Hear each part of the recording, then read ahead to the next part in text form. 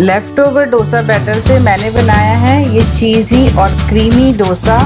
इसमें मैंने बहुत सारी वेजिटेबल्स ऐड की हैं। ये बहुत टेस्टी डोसा बनता है। आज की वीडियो में मैं दो तरह की डोसे की रेसिपी आपके साथ शेयर करूँगी। कई बार हमारे घर में डोसे का बैटर जो है बच जाता है बट फिर से उसे कोई खाना नहीं चाहता है सेम फिलिंग के साथ। तो आज हम हमारे डोसे को देंगे एक इंटरेस्टिंग सा ट्विस्ट एक डोसा मैंने ये चीज़ी वेजिटेबल्स के साथ बनाया है। और दूसरा मैंने ये नूडल्स डोसा बनाया है, जो कि बच्चों को बहुत अच्छा लगता है। स्प्रिंग रोल्स की जगह ये एक हेल्दी ऑप्शन है। अगर आप बच्चों को ज़्यादा मैदा नहीं खिलाना चाहते हैं तो ये ज़रूर ट्राई कीजिए। सबसे पहले मैं डोसे का बैटर लूँगी, जो कि मैंने अपने लास्ट वीडियो में भी बताया था, जिसमें मैंने मसाला डोसा बनाया था। ये मैंने बैटर चार पाँच दिन पहले डीप फ्रीज कर दिया था और आज मैंने इसे निकाल कर इसे बिल्कुल मैंने नॉर्मल टेम्परेचर पर कर लिया है। और इसमें हाफ़ टी स्पून मैंने सॉल्ट ऐड किया है। प्रोसीजर वही है फ्रेंड्स मैंने नॉनस्टिक तवा यूज़ किया है और मैं इसे एकदम हाई हीट पर गर्म करूँगी। जब ये बिल्कुल धुआँ छोड़ने लग जाएगा, तब मैं इसमें पानी का छीटा और इसकी फ्लेम लो कर दूँगी। हमारा डोसा चिपके नहीं, उसके लिए मैं ये अनियन को हाफ़ कट करके इस पर अच्छे से रब कर रही हूँ। अगर आपके डोसे चिपकते हैं तो आप ये ट्रिक ट्राई कीजिए, आपके डोसे तवे पर नहीं चिपकेंगे। अब मैं डोसे को स्प्रेड कर लूँगी तवे के ऊपर। इस वक्त फ्लेम मैंने बिल्कुल लो कर दी है। आप बिल्कुल फ्लेम को लो रखें, नहीं तो जब तक हम अपनी इसके ऊपर फिलिंग लगाएँगे, ये डोसा नीचे से जल जाएगा। इसलिए मेक श्योर sure कि आपकी गैस की फ्लेम लो होनी चाहिए। बिल्कुल भी टेम्परेचर हाई नहीं होना चाहिए आपके तवे का। इसे मैं 30 सेकंड्स तक कुक करूँगी। और इसके बाद मैं एक बड़ा चम्मच इसमें बटर ऐड कर रही हूँ। कुछ मैं वेजिटेबल्स जो मैंने रफली चॉप किए हैं, वो मैं इसमें ऐड करूँगी। कुछ कैप्सिकम अनियन कैरेट्स लिए हैं मैंने। और कुछ स्वीट कॉर्न को मैंने बॉईल कर लिया था। आप चाहें जो मर्ज़ी इसमें वेजिटेबल्स ऐड कर सकते हैं अपनी पसंद की।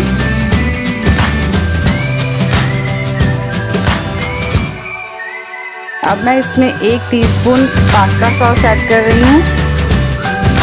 और ये वाइट सॉस है, जो कि मैंने घर में ही बनाई है। ये नॉर्मल वाइट सॉस भी हम पास्ता के लिए बनाते हैं, उससे थोड़ी सी थिक कंसिस्टेंसी की है। इसमें मैं एक पिंच सॉल्ट सॉल्ट ऐड करूँगी। थोड़ी सी ब्लैक पेपर ऐड कर रही हूँ मैं। और अब मैं इस पूरी सॉस को सारी वेजिटेबल्स के साथ अच्छे से मिक्स कर दूँगी। इसे आप बहुत लाइट हैंड से मिक्स करें, नहीं तो हमारा नीचे से डोसा टूट जाएगा। आप चाहें तो इस वक्त यहाँ पर पास्ता भी ऐड कर सकते हैं। बच्चों को वो बहुत ही टेस्टी लगता है। पर मैं ये अपने लिए बना रही हूँ। मुझे वेजिटेबल्स ज़्यादा पसंद हैं। और इसे मैं थोड़ा सा हेल्दी साइड पर रखूँगी। इसे अच्छे से मिक्स करके मैं इस पूरी फिलिंग को सेंटर में ले आऊँगी डोसा के। आप ध्यान रखिए कि इस वक्त हमारी गैस की फ्लेम बिल्कुल लो है। तभी हमारा डोसा बिल्कुल भी जल नहीं रहा है। ये बिल्कुल स्लो फ्लेम पर क्रिस्प होके पकेगा। और अब इस फिलिंग के ऊपर मैं एक कोई भी आप लिड रख दूँगी। आप पूरे डोसे पर लिड ना रखें। जहाँ पर फिलिंग है, बस वहीं पर लिड रखें। इससे हमारी वाइट सॉस के अंदर जो चीज़ है, वो अच्छे से मेल्ट हो जाएगा। एक मिनट इस तरह से पकाऊँगी और उसके बाद जब लिड हटाएँगे तो ये देखिए बिल्कुल चीज़ जो है मेल्ट हो चुका है। ये बिल्कुल एक हेल्दी पिज़्ज़ा की तरह दिख रहा है, एकदम चीज़ी पिज़्ज़ा और मुझे स्पाइसी पसंद है। इसके ऊपर मैं डाल रही हूँ बहुत सारे चिली फ्लेक्स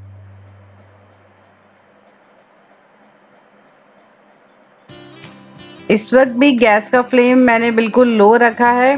और कभी कभी चीज़ खाना तो बनता ही है, इसलिए मैंने लिया है ये प्रोसेस चीज़ का एक क्यूब ये अमूल चीज़ का क्यूब है। इसे मैं बस हाफ़ ग्रेट कर रही हूँ। और आधे मिनट में ये चीज़ बिल्कुल मेल्ट हो जाएगा। और इसके ऊपर मैंने डाला है ऑरेगेनो। बस इस वक्त आप अपनी गैस की फ्लेम को मीडियम कर दें, क्योंकि जब हमारा डोसा पक जाता है तो ये अपने आप ही तवे को छोड़ देता है। और ये अच्छा सा ब्राउन कलर भी ले लेगा। ये देखिए, डोसे ने तवा बिल्कुल छोड़ दिया है। इसे मैं बहुत ही धीरे से फोल्ड कर दूँगी और इसे सर्व कर दूँगी। ये चीज़ी डोसा बहुत ही टेस्टी बनता है फ्रेंड्स। आप एक बार इसे ज़रूर ट्राई कीजिए। और अगर रेसिपी अच्छी लग रही है तो जल्दी से मेरे चैनल को सब्सक्राइब कीजिए। और अब हम स्टार्ट करते हैं अपना दूसरे डोसे की रेसिपी। सबसे पहले मैं तवे को पानी छिड़क कर नॉर्मल टेम्परेचर पर ले आऊँगी। इसे क्लीन करके गैस की फ्लेम को बिल्कुल लो कर दूँगी और उसके बाद इसके ऊपर मैं डोसे का बैटर स्प्रेड करूँगी। अगर आप देखना चाहते हैं ये डोसा बैटर मैंने कैसे बनाया तो आप मेरा पिछला वीडियो चेक कर सकते हैं। इसे मैं आधे मिनट तक पकाऊँगी। और उसके बाद मैंने एक बड़ा चम्मच इसमें बटर ऐड कर किया है। एक टीस्पून पास्ता सॉस ऐड की है. Half teaspoon Schezwan sauce की है. और एक चम्मच केचप ऐड किया है. पहले मैं इन सभी सॉसेस को मिक्स कर लूँगी अच्छे से. और उसके बाद इसमें वेजिटेबल्स ऐड करूँगी, जिन्हें मैंने रफली चॉप कर लिया है. कुछ अनियन कैप्सिकम और कैरेट को मैंने ग्रेट कर लिया है. इन्हें सारी सॉसेस के साथ अच्छे से मिक्स करूँगी।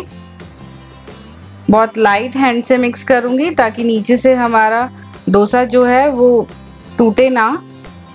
और गैस की फ्लेम बिल्कुल लो है मेरी। लो फ्लेम पर पकाने से डोसा जो है बहुत ही क्रिस्प बनता है।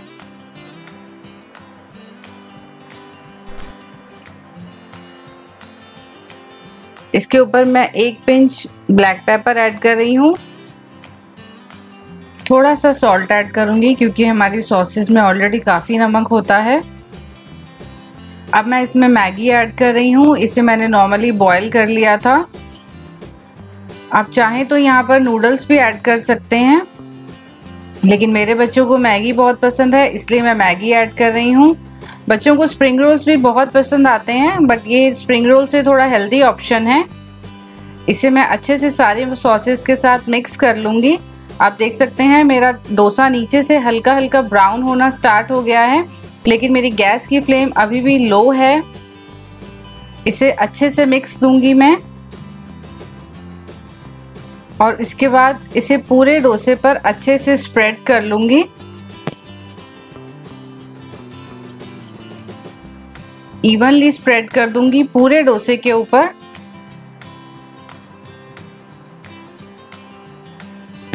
ये देखिए, बिल्कुल मैंने इवनली स्प्रेड कर लिया है और इसके बाद मैं डालूँगी बच्चों का फेवरेट चीज़ और इसे काफ़ी जेनरसली मैं डालूँगी। मैं प्रोसेस चीज़ यूज़ कर रही हूँ। आप चाहें तो कोई भी चीज़ यूज़ कर सकते हैं।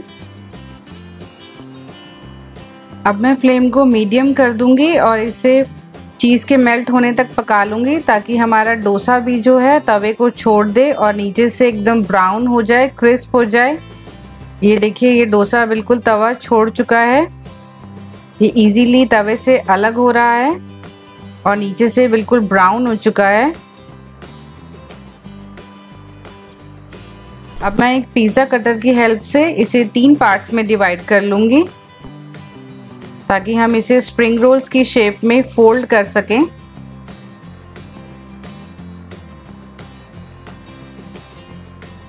देखिए, बिल्कुल इसी तरीके से। और अब मैं इन्हें थोड़ा सा ठंडा होने पर ताकि मैं इसे इजीली टच कर सकूँ और फोल्ड कर दूँगी। ये देखिए, देखने में बिल्कुल भी इसको कोई नहीं कह सकता कि ये स्प्रिंग रोल है या ये डोसा रोल है। ये खाने में बहुत ही टेस्टी है फ्रेंड्स अगर ये रेसिपी आपको अच्छी लग रही है तो प्लीज़ मेरे चैनल को सब्सक्राइब ज़रूर कीजिए। बेल बटन पर भी क्लिक कीजिए, ताकि आप मेरी आने वाली रेसिपीज़ को मिस ना कर पाएँ। तो मैं चलती हूँ अब, और आपसे मिलती हूँ अपनी अगली रेसिपी में. Till then take care bye bye